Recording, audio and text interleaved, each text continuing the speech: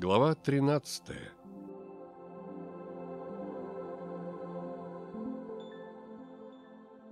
Я Брахман.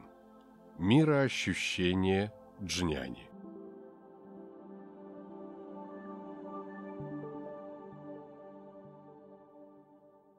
Теперь, когда ты пробудился, я провозглашаю тебе истину. Ты есть Брахман, я есть Брахман, вся Вселенная является Брахманом. Что бы ты ни делал, помни всегда эту истину. Йога Васиштха, глава 6.6, притча о камне. Трудно описать, как ощущает себя джняни, и передать это тем, кто джняни не является. Хотя джняни обладает телом человека, это только видимость.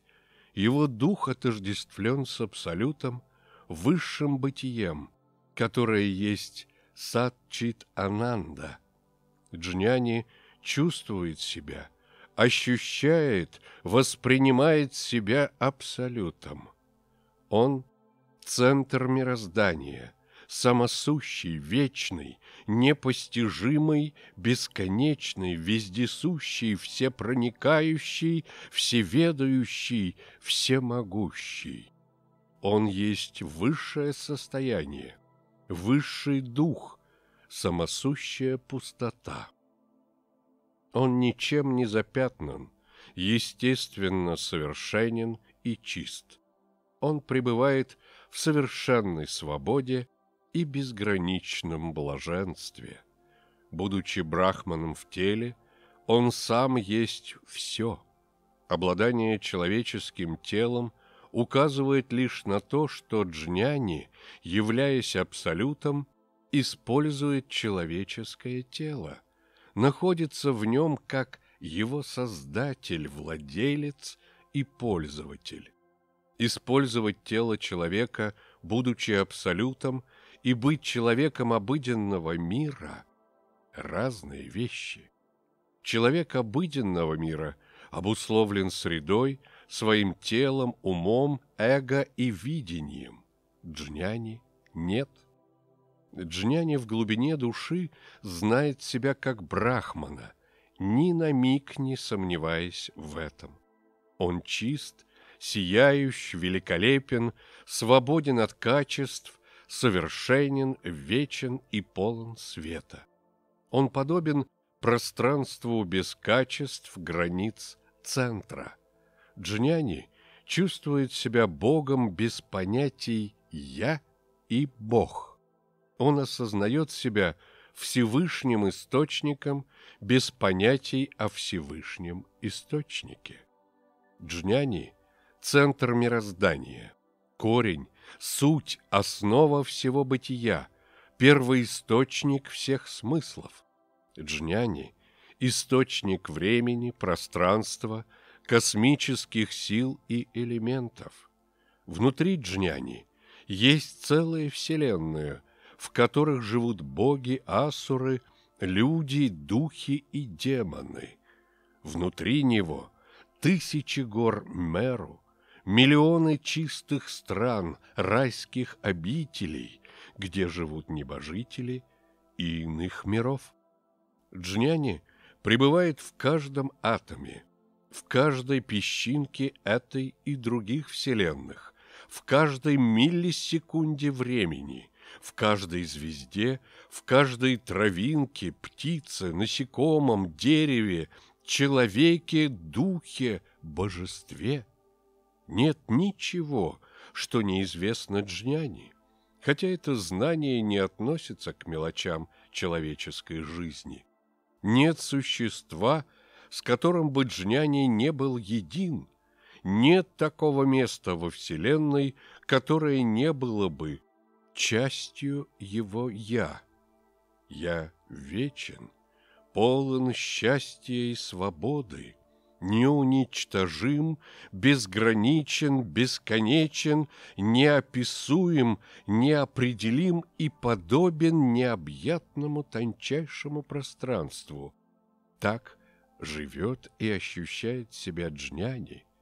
Я всегда чист и совершенен, ничем не запятнан, никакая скверна не может коснуться меня. Я брахман. Я и брахман одно, есть только брахман. Он и я одно. Нет даже мысли о единстве. Все едино. Один, одно, я. Все есть абсолют.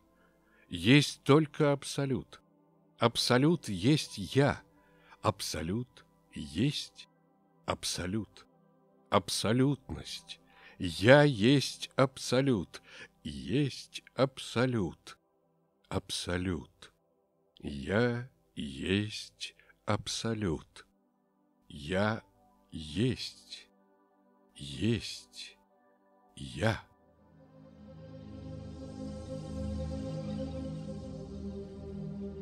Самоузнавание.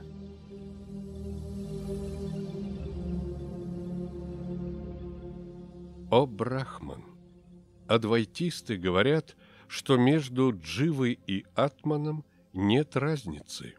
Ты бесконечен, неделим и вечен.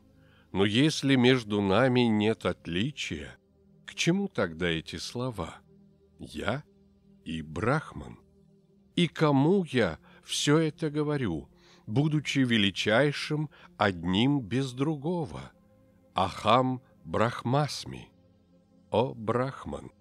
Другие говорят о тебе, как о великом совершенстве, но если ты абсолютно совершенен, и ты есть я, а я — это ты, отчего же я, словно безумец, одержим усовершенствованием себя? День и ночь медитирую и занимаюсь йогой. Ахам Брахмасми, о Брахман! Святые говорят о тебе, как о безначально чистом. Если ты всегда чист, и ты — это я, а я есть ты, какой злой дух внушил мне мысли о моей нечистоте и необходимости очищаться? Ахам Брахмасми. О, Брахман!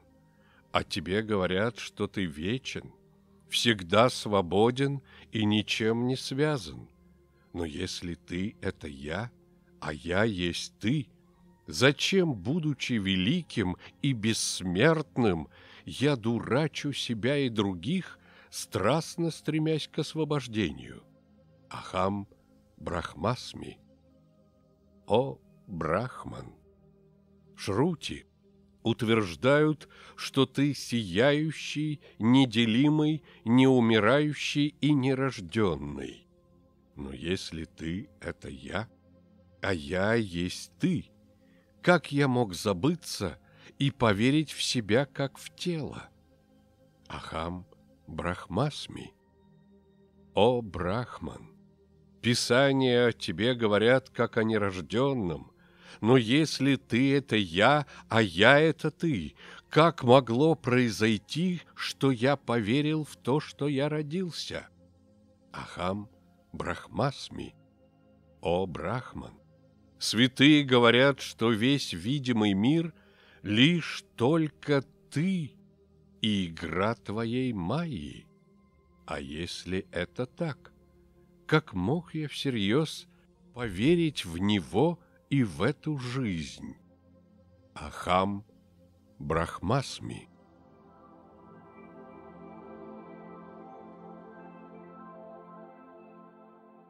Глава четырнадцатая Божественная гордость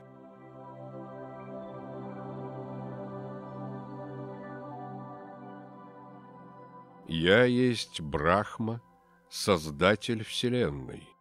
Во мне все мудрецы и боги в соответствующих формах.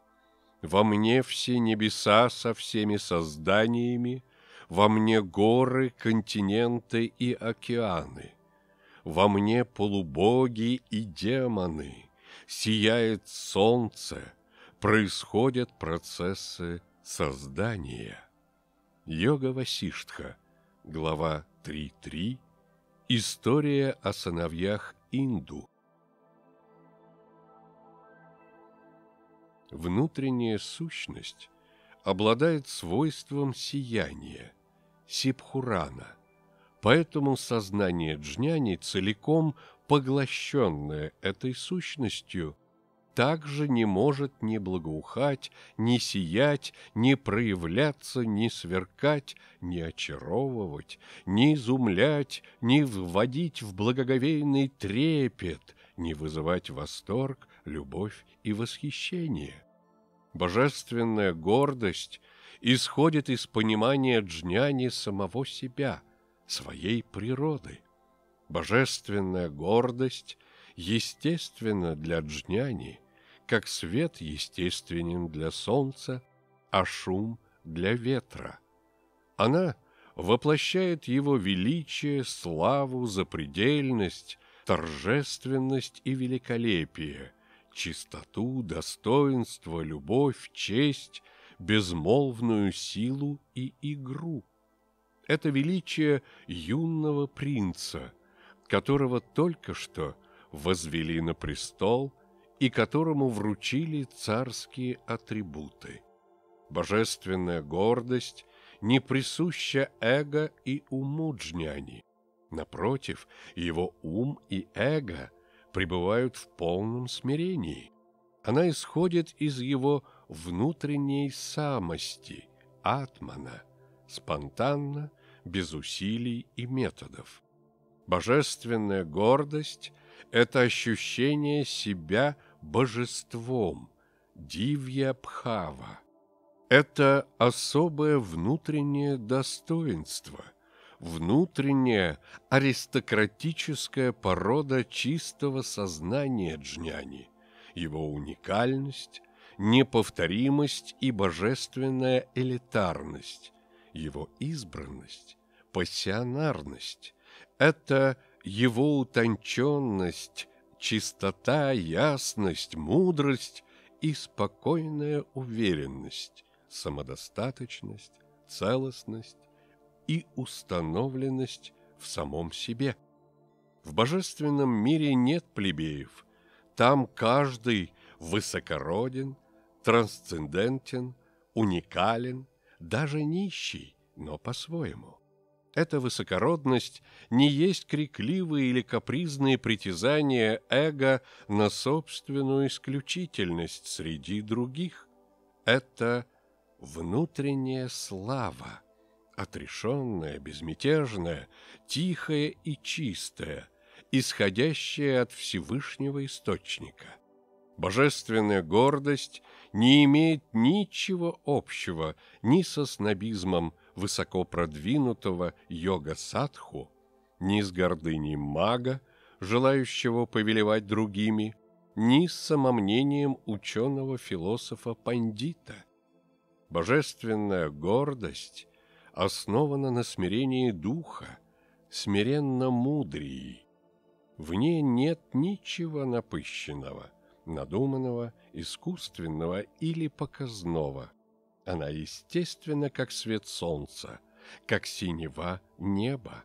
Это спокойная, могучая уверенность и безмолвная сила.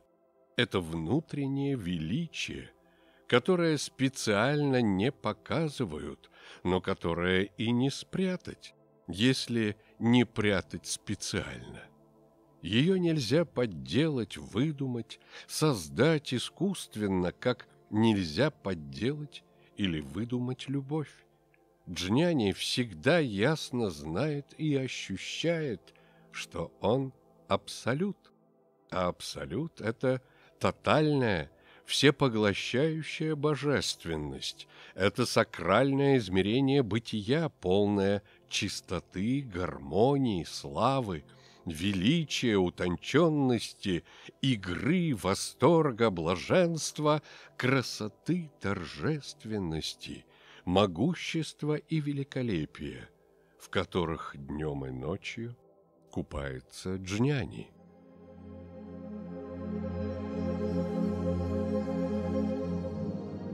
Хвала божественной гордости.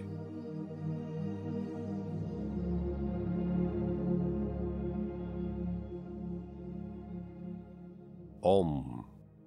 Почтение изначальному гуру. Тысячекратно простираюсь перед тобой, о величественная дивья Бхава, царственная, полная запредельного могущества, подобная тысячи золотых слонов, по величию подобная горе Меру, царскому трону Индры и лотосу Брахмы, приводящая в благоговейный трепет даже богов, воплощенная Айшвария Шакти самого Брахмана, та санкальпа, что выражена великим изречением «Я Брахман», «Ахам Брахмасми». Что может быть выше и привлекательнее тебя – что может быть превосходнее и глубже тебя. Ты сама изначальная Сахаджа Деви, Брахма Спанда, творящая Вселенную одним своим намерением. Ты — само сердце Ануграхи, ты — сущность творения, поддержания и разрушения. Все существа — силы, риши, кумары, ситхи, боги, гандхарвы, якши, апсары, асуры, дайтьи, наги, все татвы исходят из тебя, питаясь твоим светом. Но ты, будучи брахманом, исходишь лишь из себя самой. Тысячу раз благословлен тот йогин, который, получив передачу, усердно, без отвлечений медитирует на тебя, вновь и вновь погружая свой ум в божественную гордость и представляя, несомненно, я есть Брахман, я всеобщая основа всего, я один без другого – бесконечный, вечный, непостижимый, неописуемый, безопорный и всепроникающий. Тот, кому известны тайны гордости божества, превосходящие все медитации на величие Брахмана, Ниралампхи, тот высший йог, уважаемый даже богами – ведь, медитируя так, он сам становится священной сущностью в сердце всех богов, всеведущей, совершенной и чистой. Как чудесны три способа медитации на Махавакью, с опорой на связь Ахам и Брахмасми, с опорой на Брахмасми – и медитация с опорой на спанду, тонкую игровую активность ума. Тот истинный мастер джняна-йоги и лая-йоги, кто овладел тайным мастерством объединения Бхавы с телом, объединения Бхавы с праной, объединения Бхавы с пятью чакрами и внешними татвами. Тот, кто знает три великих действия – испускание, поглощение милости и пребывание в единстве. И тот, кто день и ночь выполняет насыщение дивья Бхавой иллюзорного тела, наслаждается днем и ночью спонтанным блаженством, не прилагая усилий, и овладевает Ичхаситхи. Разве может быть что-то недостижимое для такого йога, который знает эти тайные методы, которые можно получить лишь от следующего учителя? Тот, кто всегда почитает Брахмана, поклоняясь Дивья-Бхаве, почитает Дивья-Бхаву созерцанием – обладая различными силами счастливо живет он в этом мире и в конце концов достигает высшего освобождения.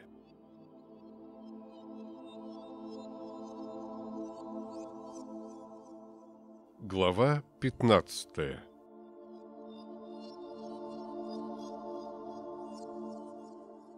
Чистое видение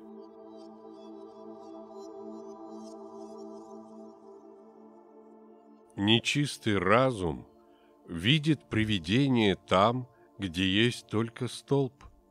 Нечистый разум, нагруженный скрытыми тенденциями, является причиной заблуждений. Человек должен стараться выкорчевывать и выбрасывать подобное. Йога Васиштха, глава 3.7, История о Лаване. Человеку в состоянии неведения в той или иной степени присуще нечистое видение по причине прошлых тенденций. Нечистое видение разделяет на плохое и хорошее, и именно это разделение делает плохое плохим. В абсолютном смысле даже видеть, что кто-то пребывает в неведении, имеет нечистое видение – это тоже форма неведения. Поэтому, когда джняни говорит о каком-либо видении как о чистом или нечистом. Такое разделение следует считать условным, используемым для объяснения другим. Чистое видение естественно присуще джняне так же, как шум волн естественно присущ океану, свет присущ солнцу, а прохлада – ветерку. Оно есть продолжение божественной гордости джняни – Джняни всегда видит мир чистым и священным. Во всей Вселенной нет даже мельчайшей частицы, пылинки, атома, которые бы Джняни видел нечистыми, не божественными. Джняни видит так, потому что живет, играя в измерении чистого видения в мандале Всевышнего Абсолюта. Из этого измерения все явления видятся ему священными, чистыми и совершенными, полностью божественными в своей основе. В видении мира глазами джняни нигде нет уродства, изъянов, грязи, несовершенства. Все изначально священно, чисто, спонтанно, естественно, свято по своей природе и совершенно. Конечно, физические глаза Джняни могут видеть окружающие его изъяны, грязь, несовершенство, но все это Джняни видит целиком совершенным. Как на острове, который сделан целиком из золота – не найти даже крупинки грязи, так и в измерении джняни нет ничего нечистого, все всегда чисто. Уже на этой земле, в обыденном теле из плоти и крови, джняни живет, как на небесах небожителей. Мир для джняни выглядит иначе, чем для обычных людей. Он для него мандала, сакральное пространство богов. В этой мандале не совершается ничего обыденного, мирского. В ней происходят только мистерии, литургии, игры Абсолюта. Каждое действие здесь – игра божеств, даршан, инициация посвящения, ритуальное призывание и подношение. Каждый звук Слово, вздох, стук, скрип — это священные слоги, мантры, ритуальные песни, посвященные божественному, восхваляющие его славу и величие. В мандале нет обычных существ, людей или зверей.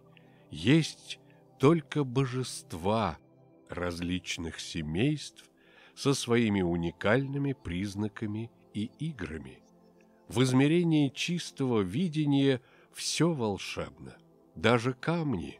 Каждое действие имеет сакральный смысл, каждый взгляд, улыбка, слово – даршан, посвящение – Каждая капля дождя, дуновение ветра, шелест листвы, луч солнца, прикосновение, благословение, передача учения, тайная инициация. Видя учителя, Джняни видит самого Вишну или Брихаспати, действующего через него. Видя отрешенного аскета, Джняни видит самого Шиву, в позе медитации. В теле рабочего, строителя храма, он прозревает самого Вишвакармана, а видя царя или правителя местности, он прозревает самого Индру, царя богов.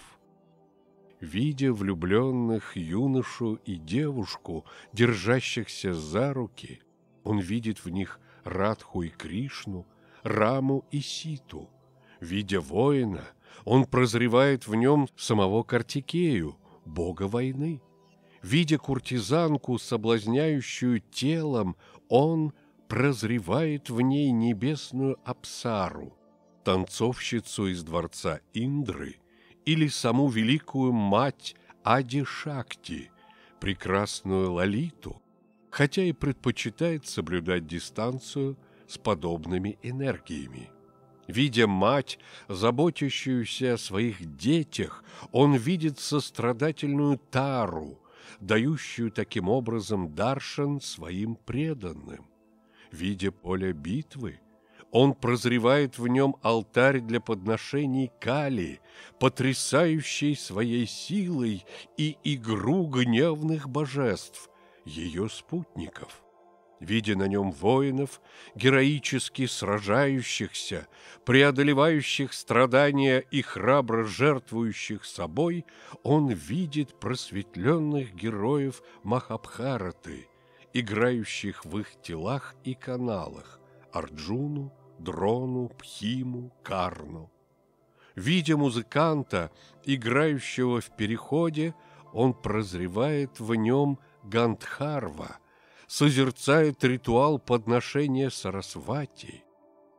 Видя старуху-нищенку, он прозревает в ней богиню Тхумавати, дающую учение об отсечении эго, привязанности и надежд, хотя и понимает, что не каждый готов получить ее даршан, подобный бездне виде успешного бизнесмена, устраивающего прием, одаренного руководителя, популярного артиста, звезду, он прозревает в нем блистательную Лакшми. Видя школьного учителя, он прозревает саму прекрасную Сарасвати, просвещающую людей через его тело. Видя богача, банковского служащего, он почитает в нем хранителя Куверу, владыку всех богатств. Видя охранника, стража, он видит в них лакопалов, охранителей сторон света и местности. Видя врача-целителя, он наблюдает, как божества-близнецы, целители Ашвины и Риши Тханвантари – действуют через его тело, посылая свои исцеляющие силы больному. Видя галку или чайку, Джняни прозревает в ней могущественного Горуду, царя всех птиц. Видя змею, ужа, он прозревает в них царя нагов. Видя дерево, одиноко стоящее в поле, он видит в нем Калпа Врикшу, мистическое древо богов, исполняющее желание. Видя продавца, торгующего хлебом, он почитает в нем богиню Аннапурну, подательницу пищи. Для него каждая корова исполняющие желания мистические Сурабхи и Камадхену. Каждый бык – священный Нанди, каждый слон – мудрый Ганеша, а каждая обезьяна – преданный Хануман. Каждый человек, мужчина, женщина, старуха, ребенок – божества, играющие в свои непостижимые игры. Глядя на травинку, листок, он видит в нем тело божества, феи-покровительницы всех лесов и растений. Каждый камень для него – мистический камень Чинтамани. Каждый океан полон нектара, каждая гора – благословенная золотая меру, каждый дом, гора, хижина, лес – дворцы божеств. Чистое видение – естественно для джняни так же, как зрячему естественно видеть мир цветным. В таком видении нет ничего придуманного, сфабрикованного. Это видение мира, как он есть, в самом деле. Мир в своей основе божественен, и с этим ничего не поделать. Неважно, Знаем мы об этом или нет, нравится нам это или нет, это можно только принять как данность. Это так, потому что это так. Этому нет объяснений. Это нельзя обосновать, но это можно пережить, и это нужно пережить. Человек сансары страдает только потому, что он этого не переживает, не думает и не знает об этом. Джняни знает, видит, понимает, чувствует и принимает это всем сердцем. Он видит, как много людей вокруг страдает от собственного нечистого видения только потому, что в глубине души они отказываются принять божественную, сакральную природу мира. Даже заурядные, грязные, пугающие или отталкивающие других людей вещи джняни видит священными и чистыми, хотя и понимает, что сила энергии этих вещей подойдет далеко не каждому. Эта сила определяется способностью к сам-йоге, поддержанию равновесия между осознаванием и энергией, космическим порядком и вселенским хаосом.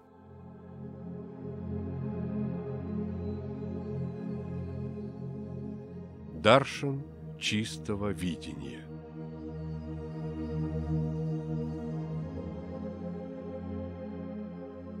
Все священно – нет дурных и хороших событий и действий. Есть лилы игры божеств и Всевышнего Духа. Мужчин нет и женщин, детей, стариков, высоких и низких, богатых и бедных. Есть божества из различных семейств, что играют искусно в телах людей, проявляясь. Нет мира людского, нет асуров и ада, нет областей претов и сансарного рая. Есть мандалы, чистые святые обители, где боги играют, проявляя мистерию, таинство Брахмана, единого духа, озорную, священную, чистую, блаженную лилу. Нет войн, нет греха, нет уродства, нет зависти, алчной корысти и блуда. Насилия нет и предательства, гордыни убогой, тщеславия нет. Все это игра, энергия чистых божеств, что обитают в теле, его украшая, словно змеи-гирлянды – на шее у Шивы. Нет звуков мирских, уродливых, гневных, фальшивых и резких, а есть только песни священные, пхаджаны, молитвы, благословения и мантры, что в экстаз погружая, прославляют Всевышнего Духа, из уст изливаясь потоком нектара. Нет хижин, домов, магазинов, вокзалов, ресторанов и тюрем, а есть лишь сияющие светом дворцы, где божества обитают, играя в непостижимые, странные, даже жесткие игры, предавшись служению Всевышнему Брахману, Всевышнему Духу, но зная свой путь. Пусть действует мудро тот смертный, что в мире имеет свои личные цели. Нет воров, убийц, прелюбодеев и проходимцев, нет нищих, убогих, больных, ненормальных и глупых, а есть божества, что играют в непостижимые, гневные, полные силы и ярости лилы. Так дух прославляя и мир продвигая к собственной цели, но зная свой путь, лучше пусть их не касается смертный, дабы не впасть в искушение обман. Стыда нет и боли, нет страха, нет клеш омрачений, нет алчных надежд и фальшивых цепляний, нет вожделения, гнева, болезни и смерти. Все шакти вселенской лила. И все твои действия — чистая мистерия таинств ума, праны, речи и тела, что дух прославляют единый и поют всему миру великую песню Адвайты — Тат Твам Аси.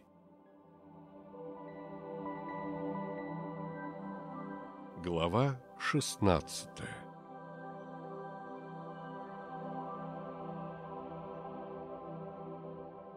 Единый вкус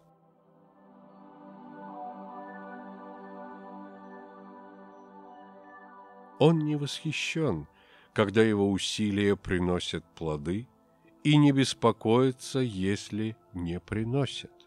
Он не удивится, если свет луны станет горячим, или от солнечного света будет веять прохладой. Йога Васиштха, глава 5.8, История об Хасе и Вилосе. Для Джняни все едино, равностно, ибо он не разделяет в глубине души на субъект и объект, прошлое и будущее, я и они, мысли и безмыслие, добро и зло, приятное и неприятное, правду и ложь, освобождение и связанность, радость и горе, внутреннее и внешнее, сансару и нирвану, пробуждение и неведение, рождение и смерть. Для него все это одно. Джняни отрешен от человеческого видения мира, основанного на двойственности. Он также отрешен и от божественного, хотя это нелегко. Он даже отрешен от самого отрешения – он пребывает в той недвойственной реальности саморасье, где нет никакого разделения, где все одинаково на вкус. Это чистое сознание без «я», «ты», верха, низа, внутреннего, внешнего, прошлого, будущего, субъекта, объекта и любых двойственных категорий. В нем нет рождения, нет жизни, нет смерти, нет плохого, нет хорошего, ибо все эти понятия являются человеческими оценочными суждениями, иллюзией. Джняни погружен в пространство осознанности, в котором все слито, едино, все равностно, все неважно или все одинаково важно. В этом пространстве все божественно, чисто и совершенно. Поэтому Джняни живет во всеприятии и не отвергает ничего, но и не привязывается ни к чему. Он принимает самые светлые, чистые, божественные и радостные стороны, как мирные игры Абсолюта. Он также одинаково принимает грубые, отвратительные, мрачные, нечистые стороны этого мира, как гневные игры чистого сознания, видя их полностью чистыми и совершенными. Сам же он всегда чист и отрешен, поскольку он вне того и другого. Его чистота так велика, что его ничто не может смутить, поразить, омрачить или запятнать. Он чист, даже находясь в грязи, ибо дух джняни подобен лотосу, растущему из грязи. В самых обычных, грубых и даже низменных вещах этого мира джняни видит игру божественного, святое, чистое, возвышенное. Для джняни нет греха в том виде, как его представляют люди. Он также трансцендентен по отношению к заслугам, хотя в относительной жизни он живет так, чтобы подавать другим благоприятный пример. Для него нет гнева, алчности, гордыни, зависти и похоти. Также для него нет и обыденной добродетели в виде благочестия, человеческой дружбы и привязанности. Джняни может играть в эти игры, однако в глубине своего сердца он свободен от них. Для него все едино, все имеет единый вкус. Гнев, алчность, привязанность, гордыня, вожделение – также сакральны и божественны, как любовь, сострадание, жертвенность, благочестие, дружба, долг и честь.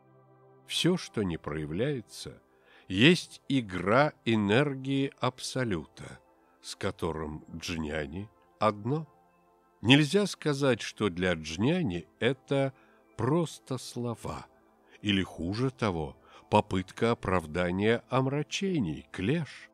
Джняни – истинный мастер жизни, и он видит реальность прямо, как она есть. Его взор не затуманен фальшивыми понятиями и оценками обыденного мира. Он понимает, что если и есть в этом мире истинное, чистое, правильное и хорошее, то это только – трансцендентное осознавание вне понятий об истинном, чистом и правильном. Если и есть плохое, нечистое, это бессознательность, то есть отсутствие осознанности, приводящее к разделению, к двойственности и отождествлению с понятиями. Все остальное – иллюзия – возникающая в двойственных, спящих умах в результате неверного понимания реальности. Осознавание является самоорганизующейся внутренней силой Вселенной. Это энергия порядка, красоты и ясности. Бессознательность есть сила энтропии, хаоса, запутанности – эти две силы есть игра сознания и энергии, пустоты и блаженства, пуруши и прокрити, шивы и шакти, непроявленного и манифестации. Джняни живет, балансируя между этими силами Вселенной, соединяя их в воззрении единого вкуса в чистейшем пространстве самарасьи. Пребывая в измерении единого вкуса, он искусно поддерживает равновесие, баланс. сам йогу в своем воззрении, медитации, теле, уме и, насколько возможно, в окружающем мире.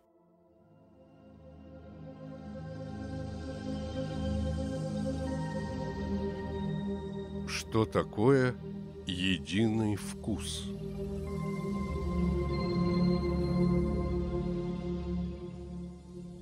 Когда внутреннее смешалось с внешним, и не осталось ничего внутри или снаружи, это именуют самарасия, единый вкус. Когда самадхи достигнута в спокойной позе и длится после медитации, это и есть самарасия, а не что-то иное. Когда прошлое – как и будущее время, слились в единое настоящее мгновение, а затем исчезло даже оно, растворившись в непостижимости, это и есть саморасия, а не что-то иное. Когда сон без сновидений и бодрствование стали будто бы одним и тем же непрерывным сознанием – это признак того, что обретена саморасия, когда чистое и нечистое, доброе и злое, грешное и святое, правильное и неправильное, правда и ложь стали одним, соединившись в неописуемой сверкающей сфере единого ума, это и есть саморасия, когда жизнь и смерть, сансара и нирвана, субъект и объект соединились в чистом уме, подобном бесконечному пространству, это и есть саморасия.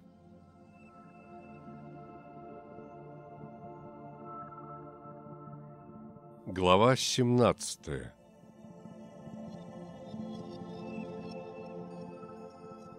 Три мира Джняни.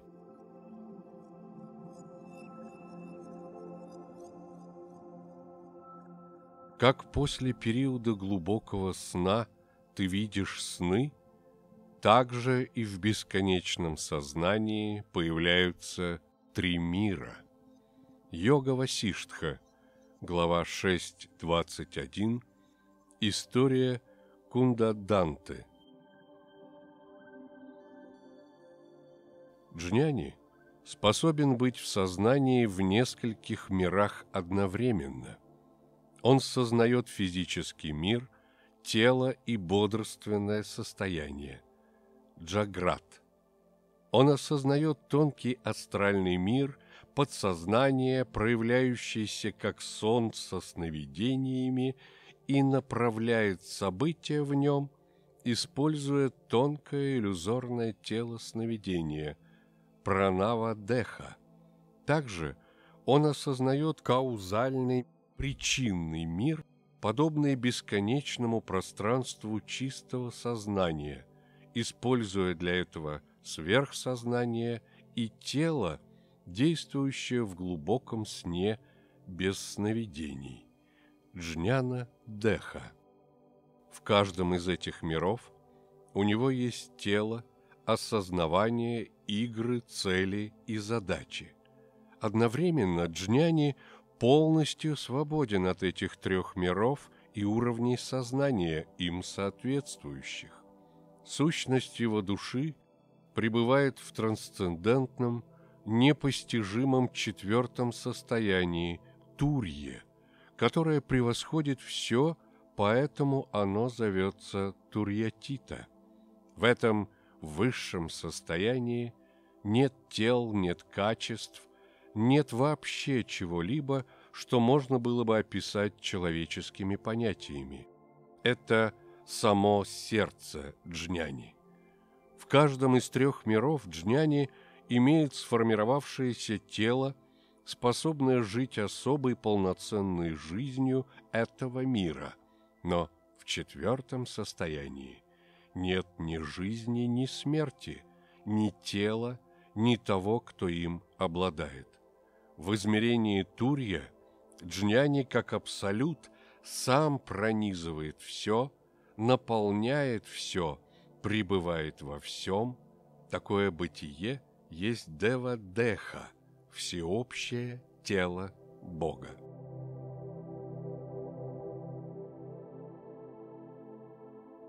Глава 18.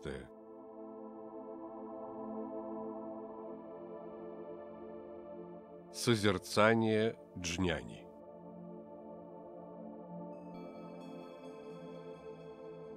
Мы созерцаем сознание, которое проявляет себя как чистое блаженное переживание, когда переживающий взаимодействует с переживаемым без разделений и концепций. Йога Васиштха, глава 5.1, История о царе Джанаке. Джняни непрерывно погружен в естественное исследование Вичара Брахмана, Всевышней сущности. Это его главное занятие, важнее которого ничего не может быть ни в мире людей, ни в мире богов – Сначала, пока будущий джняни еще не обрел мудрость, такое исследование имеет умственный, философско-аналитический характер. Он медитирует, размышляет с помощью ума над великими изречениями, махавакьями Веданты, такими как «нети-нети», «не то, не то», «ити-ити», «и то, и то».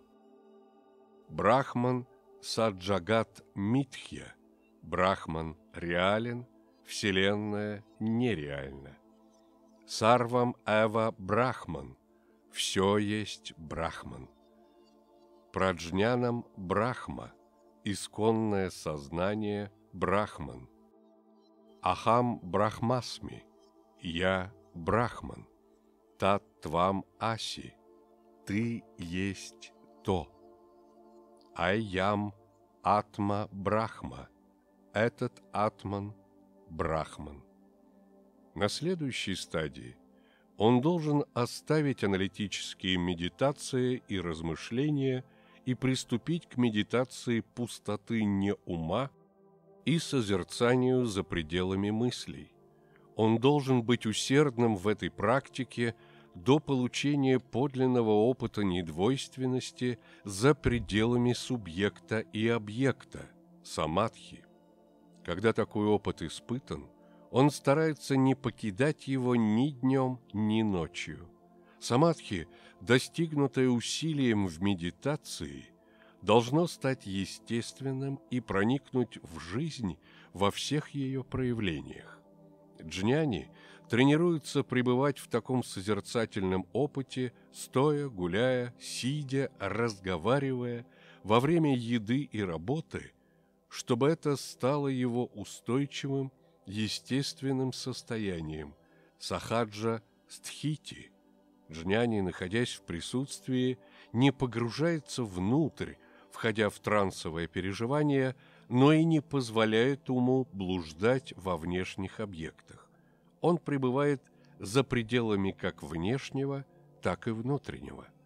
Для этого ему нужно понять, что те огромные усилия в медитации, которые он прилагал раньше, и даже его страстное стремление к освобождению, не дающее покоя уму, теперь являются только помехой.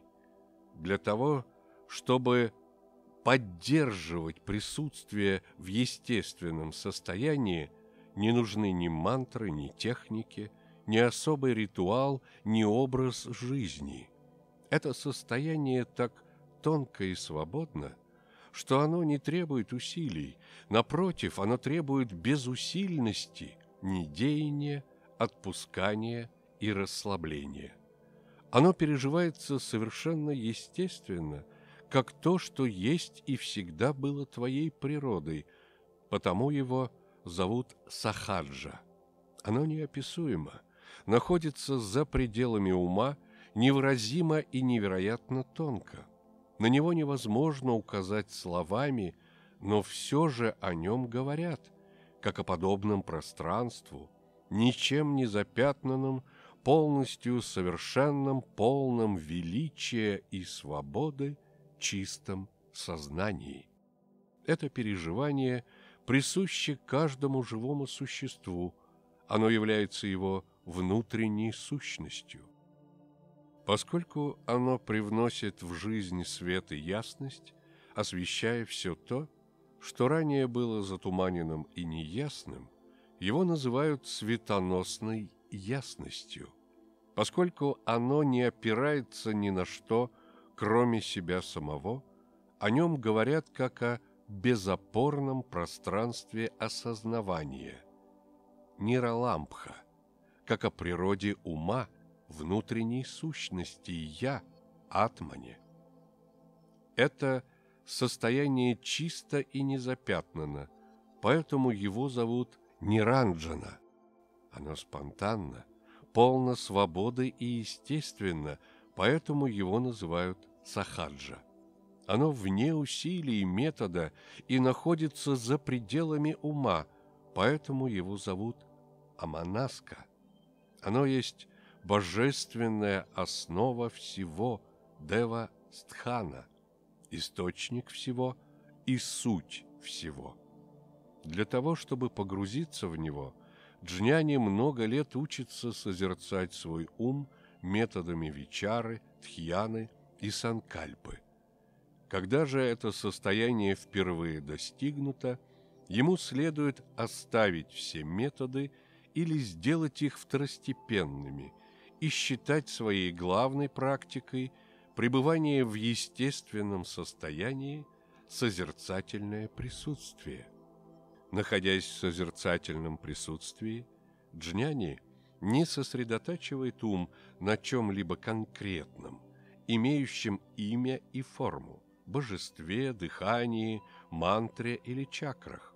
Вместо этого он помещает свое восприятие в точку наблюдающего осознавания – драшта. Эта точка именуется аманаской, неумственная, и находится в глубине, за пределами концепций и активности ума. Углубляясь в нее – Джняни погружается в переживание необъятного, всепроникающего, бесформенного сознания, подобного пространству Вселенной. Чем бы он ни был занят, что бы ни делал Джняни, он погружен в это состояние днем и ночью. Оно полно яркости, ясности, радости, свободы и глубины – и выражает сам дух джняны. Погружаясь в это состояние, джняни не теряет себя, не останавливается и не утрачивает относительное видение и намерение. Его дух исследует его все глубже и глубже, и этому нет конца, нет предела. Все, что джняни испытывает в жизни – усталость, боль, страх, интерес, восторг, удовольствие, мышление, движение, магические опыты, намерения, умственный анализ, оценки, обобщения, выводы, принятие решений – все годится для созерцания. Любая ситуация подходящая, любая поза наилучшая, любое время и место благоприятное, любое переживание достойное и отлично подходит для практики.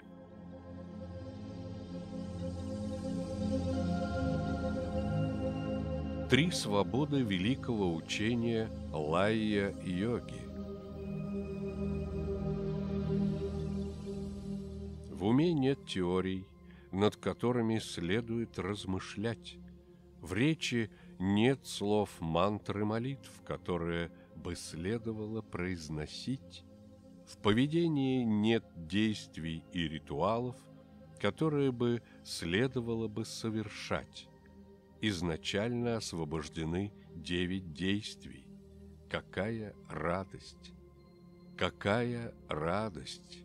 Естественный ум, созерцая себя, спонтанно играет в тысячи дхарм. Таким образом, джняни свободно парит в пространстве сахаджа татвы, не будучи ограниченным никем и ничем. Конечно, это относится только к истинным джняни, способным пребывать в своей исконной природе и днем, и ночью. Те же, кто измышляет естественное состояние, придумывая его в мыслях и не свободны от усилий, еще не обрели знания.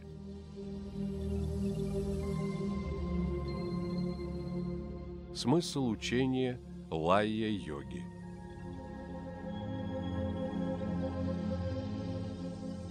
Я не предлагаю тебе никакой теории, основанной на мыслях, а лишь говорю, наблюдай любые мысли, не вынося оценок и суждений, и сам все поймешь, обнаружив чистую осознанность «я есмь».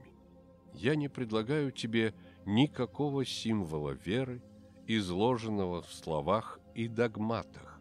Я говорю, созерцай учись тонкостям созерцательной жизни, и ты поймешь самую суть того, что святые зовут верой. Я не предлагаю тебе никакого описания Бога с такими-то качествами, атрибутами, деяниями, играми и именами. Я говорю, совершенствуйся в созерцании, развивай осознанность, углубляй присутствие, не отвлекаясь, предавайся ему без остатка, и сущность всех богов ясно предстанет перед тобой, словно на ладони. Я не предлагаю тебе никаких ритуалов, мантр, визуализаций, правил, обетов, обязательств и алгоритмов.